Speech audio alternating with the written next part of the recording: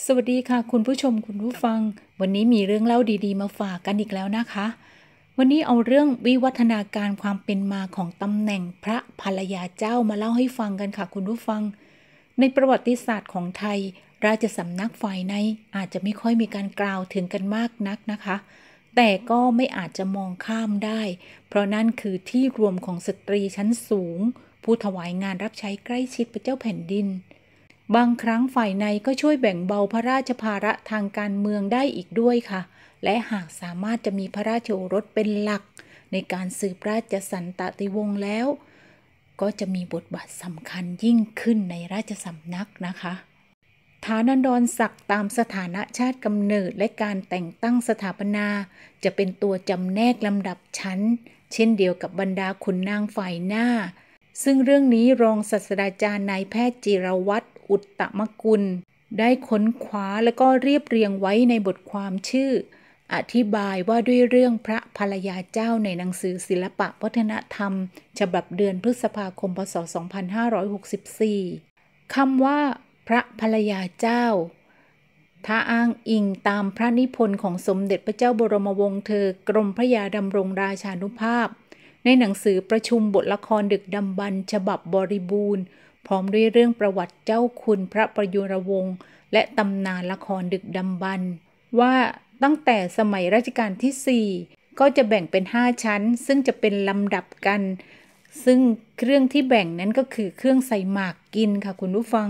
โดยที่ชั้นที่ 4 จะเป็นชั้นที่ต่ำกว่าชั้นอื่น ๆ ซึ่งก็จะมีหีบหมากเงิน กาไหลทองสำหรับพระราชทานนางอยู่งาน แต่โบราณดูเหมือนจะเรียกว่านางกำนัน ซึ่งทรงใช้สอยในพระราชมนเทียน แต่การที่ได้รับพระราชทานหีบหมากกาไหลยังไม่นับเป็นเจ้าจอมนะคะ คุณผู้ฟัง ชั้นที่สูงถัดขึ้นไปก็คือชั้นที่3ก็จะมีเป็นหีบหมากทองคำสำหรับพระราชทานนางอยู่งาน ซึ่งทรงเลือกไว้ใช้ใกล้ชิดประจำพระองค์ ใครได้พระราชทานหีบหมากทองคำจึงมีศักดิ์เป็นเจ้าจอม เรียกว่าเจ้าจอมนำหน้าชื่อทุกคน ซึ่งเข้าใจว่าชั้นนี้จะเป็นเจ้าจอมอยู่งาน ถัดมาเป็นชั้นที่สองก็จะเป็นหีบหมากทองคำลงยาราชาวดีสำหรับพระราชทานเจ้าจอมมันดา หรือเจ้าจอมซึ่งทรงพระเมตตายกย่องขึ้นเป็นชั้นสูง ซึ่งชั้นนี้ก็จะเรียกกันว่าพระสนม ส่วนชั้นที่หนึ่งเรียกว่าพระสนมเอก ได้รับพระราชทานพานทอง โดยเพิ่มหีบหมากลงยาที่กล่าวมาแล้ว เป็นพานหมากมีเครื่องในทองคำกับกระโถนทองคำใบหนึ่ง เป็นเทือกเดียวกับพานทองคำเครื่องยศที่พระราชทานเจ้านายแล้วก็ขุนนางผู้ใหญ่ แต่ขนาดย่อมกว่าพานทองเครื่องยศฝ่ายหน้า ส่วนชั้นพิเศษสำหรับพระราชทานพระมเหสี ซึ่งเรียกในกฎมนเทียนบานว่าพระภรรยาเจ้า มีทั้งหีบแล้วก็พานเสวยหมาก ล้วนทำด้วยทองคำลงยาราชาวดี ในขณะที่หนังสือธรรมเนียมราชตระกูลในกรุงสยาม ซึ่งเป็นพระราชนิพนธ์ในพระบาทสมเด็จพระจุลจอมเกล้าเจ้าอยู่หัว ได้ทรงอธิบายเรื่องนี้ไว้ว่า จะว่าด้วยเรื่องผู้หญิงมีศักดิ์ตั้งแต่พระอัครมเหสี จนถึงนางห้ามเจ้ากรมต่างๆ ในเรื่องผู้หญิงนี้ยากจะว่าให้แน่ลงไปได้ ด้วยในเมืองเราไม่ใครจะได้นับยศผู้หญิงตามสามี มักจะนับแต่ยศตามบิดา จึงจะกำหนดยากนักโดยที่สุดจนเมียในหลวงมีชื่อเรียกต่างๆ จะกำหนดว่าอย่างไรเพียงใดก็ไม่มีกำหนด ด้วยตั้งแต่ตั้งกรุงเก่ามาจนถึงบัดนี้ 500 ปีเศษ ยังไม่ได้ยินว่ามีการอภิเษกพระมเหสีอย่างไรสักครั้งหนึ่งเลย เป็นแต่มีอยู่ในหนังสือออกชื่อพระมเหสี แต่พระมเหสีนั่นจะเป็นขึ้นเมื่อไหร่ก็ไม่รู้ เป็นแต่จะเรียกเมื่อไหร่ ก็ไม่เห็นมีการแต่งตั้งกันจนสักครั้งเดียวคำที่เรียกกันนั้นก็มีหลายอย่างในกฎมนเทียนบาน จะเทียบว่าเป็นเหมือนอย่างควีนเมืองต่างประเทศ ให้ชัดตรงทีเดียวนั้นไม่ได้ แต่จะไปเทียบว่าเป็นอื่นๆ นอกจากควีนก็เห็นจะไปเทียบไม่ได้ เพราะความยกย่องของไทยนั้น ก็เข้าใจอย่างไพร่ๆว่า เป็นเมียหลวงของในหลวง แต่ไม่ได้กำหนดว่ามีเท่าใด นอกจากนี้ยังพระราชทานความหมายของเมียหลวงไว้ด้วยค่ะคุณผู้ฟัง ดังข้อความดังนี้นะคะ ตามลัทธิข้างฝ่ายเรา พวกมีเมียมากที่ถือลูกเมียหลวงเมียน้อย ถือว่าเจ้านายองค์ใดมีพระราชโอรส พระราชธิดาด้วยพระเจ้าแผ่นดิน เป็นเจ้าฟ้า เจ้าฟ้านั้นเป็นลูกเมียหลวง พระองค์เจ้าเป็นลูกเมียน้อย แม่ของลูกเมียหลวงก็ต้องเป็นเมียหลวงอยู่เอง ขุนนางก็เหมือนกัน มีเมียหลวงกี่คน ลูกก็เป็นลูกเมียหลวง เมียก็เป็นเมียหลวง จะมีกี่คนกี่คนก็ได้ไม่มีกำหนด แต่ว่าในบางราชการนะคะคุณผู้ฟังราชสำนักก็ไม่มีการสถาปนาพระภรรยาพระองค์ใดเป็นพระมเหสี ดังเช่นในช่วงต้นของกรุงรัตนโกสินทร์พระบาทสมเด็จพระพุทธยอดฟ้าจุฬาโลกไม่ได้ทรงสถาปนาภรรยาเอกหรือท่านผู้หญิงนาคขึ้นเป็นพระมเหสี ต่อมาพระบาทสมเด็จพระพุทธเลิศล่านภาลัย ก็ไม่ได้ทรงสถาปนาพระภรรยาเจ้าพระองค์ใด ไม่ว่าจะเป็นเจ้าฟ้าบุญรอด หรือเจ้าฟ้ากุณฑลทิพยวดี ให้ดำรงตำแหน่งพระมเหสีอย่างเป็นทางการ ส่วนพระบาทสมเด็จพระนั่งเกล้าเจ้าอยู่หัวนั้นไม่มีพระภรรยาเจ้า จนถึงรัชกาลพระบาทสมเด็จพระจอมเกล้าเจ้าอยู่หัวรัชกาลที่ 4 ที่มีการกำหนดคำนำหน้าพระนามเป็นครั้งแรก เช่น สมเด็จพระนางนาถบรมอัครราชเทวี สมเด็จพระนางเธอพระองค์เจ้าสมนัตวัฒนาวดีแต่ก็ไม่ได้ทรงประกาศสถาปนาพระมเหสีอย่างเป็นทางการ สมัยพระบาทสมเด็จพระจุลจอมเกล้าเจ้าอยู่หัวตำแหน่งของพระภรรยาเจ้า หรือพระฐานันดรศักดิ์ของพระมเหสีเทวี มีทั้งหมด 5 ลำดับก็คือ ลำดับแรกพระบรมราชินีนาถ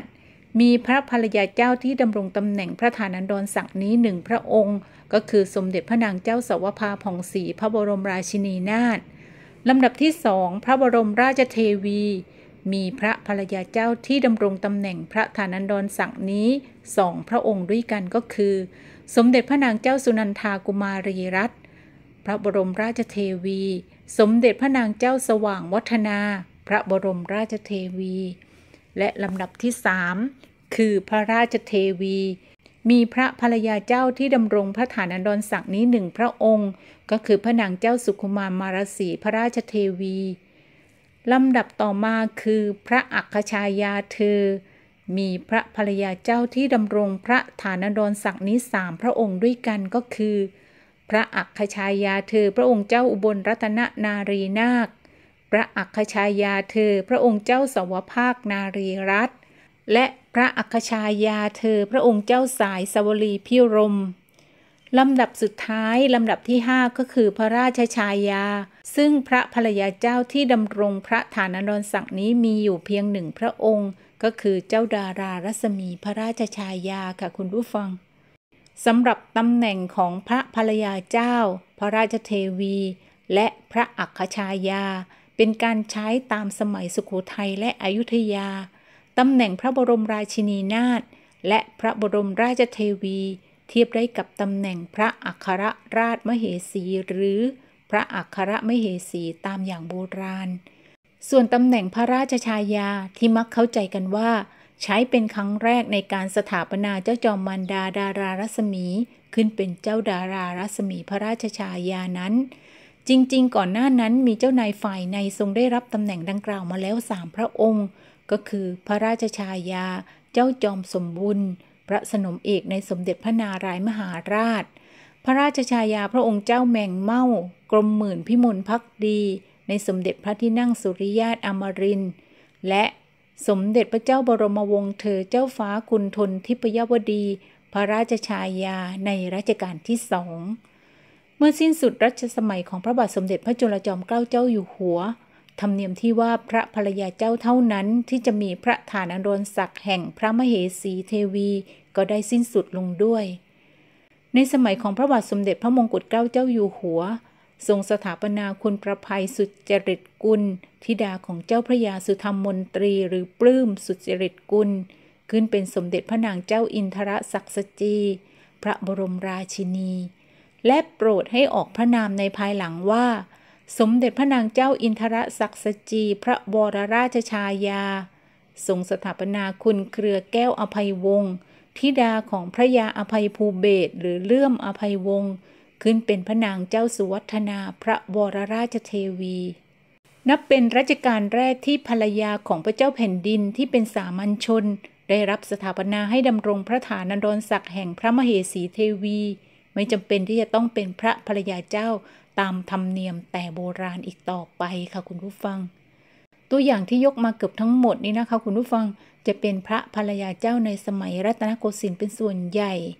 ซึ่งตำแหน่งของพระภรรยาเจ้าและการสถาปนาพระภรรยาเจ้านั้นก็เหมือนเรื่องราวอื่นในบ้านเมืองนะคะ คุณผู้ฟังที่มีการเคลื่อนไหวอยู่ตลอดเวลา และมีการเปลี่ยนแปลงไปตามบริบทของบ้านเมืองในขณะนั้นด้วยค่ะ ขอบคุณข้อมูลดีๆ จากศิลปะ magazine.com ขอบคุณคุณผู้ฟังทุกท่านที่ติดตามรับชมรับฟัง ฝากกดติดตามกดไลค์กดแชร์กันด้วยนะคะสำหรับคลิปนี้ สวัสดีค่ะ